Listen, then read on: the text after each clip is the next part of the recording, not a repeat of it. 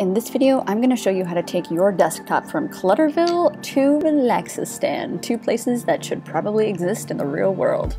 I'm your host, Erin from F the Office, where we talk biz money travel for freelancers, and I am not a very organized person when it comes to my desktop. If I'm working on something or I take a quick screenshot, I'm leaving it on my desktop, and then chances are I have a hard time finding what it is that I'm looking for. And if you're like this too, and you're not in the habit of organizing your files and and folders. I'm going to show you a quick tutorial for how to take your desktop and turn it into something functional. Now, something like this is really great for whatever industry you're in because it's really easy to organize yourself into different boxes. These can be things like your clients that you're working on, or any courses that you're developing, or even anything on the back end for your business that you have to access quickly. And our favorite way to make some graphic like this that's totally customizable to your needs is through Canva.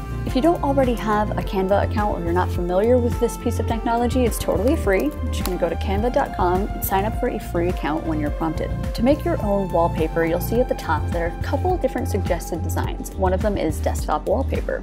Our favorite thing about Canva is they have a handful of free templates for you to use. So you can peruse any different colors, pictures, items. Maybe you want your background to be um, simple, more minimal. Maybe you want some cute little design.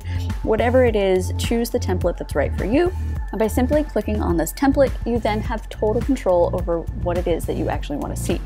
So I'm going to quickly show you how to customize your own desktop wallpaper so it's similar to this little sushi guy that I have on mine. First, let's add some boxes. Now you can add as many or as few boxes as you want depending on your needs.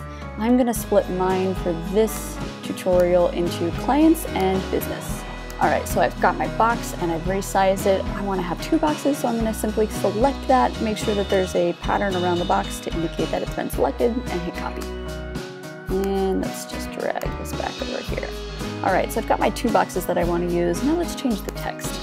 I'm gonna go ahead and keep this font. I think it's pretty great, but if you want to change a font, all you need to do is come up here to fonts and select the one that you want. Uh, first I'm going to change the size. I'd like this to be smaller and I want the font to be in black. All right, let's drag this over here.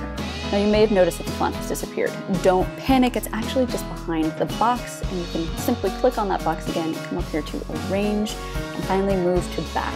That basically sends the layer backwards so that once again you can see the text. In fact, it's not too dissimilar from Photoshop.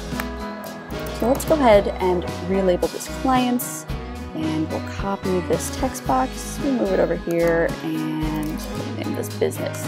This is just to show you what this could potentially look like for you. So once you've redesigned your wallpaper and you're happy with it, you're feeling the good flamingo vibes, and you're ready to download your piece, simply click download. Finally, I will show you how to upload this onto your desktop. I like to drag this onto the desktop itself. Now, PCs and Macs function a little differently, and I am on a Mac, uh, so let me show you how to do this on an Apple computer. You're going to click your system preferences and come up here to desktop. I'm going to hit this plus sign so I can quickly and easily find my tropical vibes with a capital S. Love it. So if I'm happy with the way that that looks, then great. And then you can organize as needed. So you can go ahead and drag your files, drag any um, miscellaneous documents, any screenshots that you use regularly. Go ahead and, and drag those into the boxes and my favorite thing about a system like this is that it helps you keep everything in order. Personally, I find an organized and functional desktop helps me feel a lot more productive during my workday. And now I don't have to flip back and forth between uh, different documents in my Finder. I can actually just access everything that I need to for my workday and for my business right here on the desktop. So that was a really simple tip for the day, and I will drop a link to Canva below in the description you've liked this video, go ahead and press the like. Let me know if you have a functional desktop. I'd love to know what it looks like, so if you can, share a screenshot. Thank you guys so much for watching, and again, this is Erin with F The Office, where we talk biz, money, travel for freelancers, and I'll see you on the next video.